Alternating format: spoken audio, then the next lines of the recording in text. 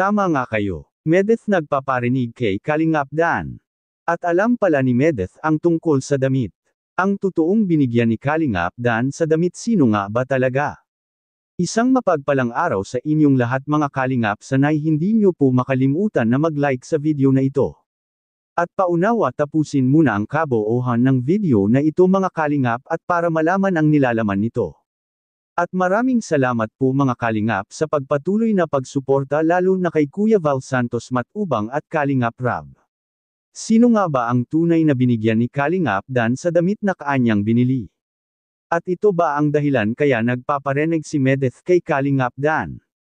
Yan ang atin ng malalaman mamaya mga Kalingap, dandit ang isa sa mga sinusubaybay yan ang karamihang taga-suporta ni Kalingap Rab at yumanig kamakailan sa nakita at nalaman ng mga tagahanga ng dandit mga Kalingap sa buniling pasalubong ni Kalingap Dan na ang damit na bakit bigla na lang itong sinusuot ni Diwata Joy mga Kalingap. Marami ang hindi nagugustuhan ang mga pangyayaring iyon mga Kalingap.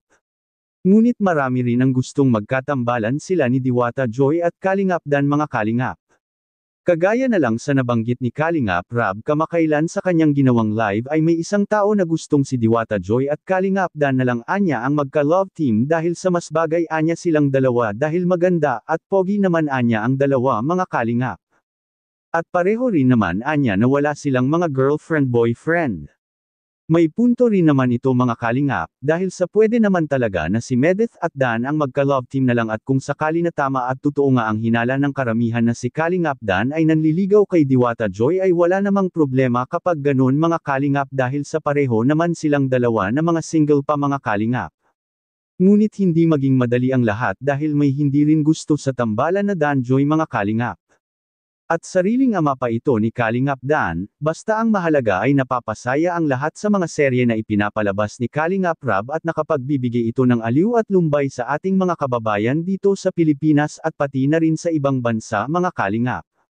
Ito rin ang isinabi ni Kalingap Dan at gusto niyang linawin na sana anya ay good vibes lang ang lahat at wag masyadong siseryosohin ang mga tambalan na ginagawa nila ngayon dahil sa pampo good vibes lang anya ito sa lahat at para hindi na rin masasaktan kung sakaling hindi maging totoo ang expectation sa mga gustong magkatuluyan sa huli ang dandit.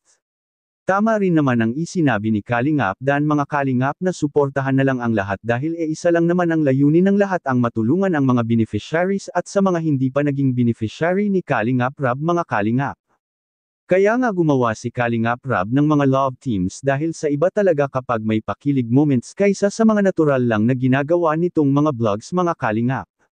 Malaki kasi ang maetutulong ng mga serye dahil sa malaki rin ang naetutulong nito lalo na sa funds na pangtulong ni Kalingap Rab sa mga tao na lubos na nangangailangan mga Kalingap, kaya maging masaya na lang tayong lahat basta ang mahalaga ay matulungan si Medeth at magkaroon rin ito ng sariling bahay.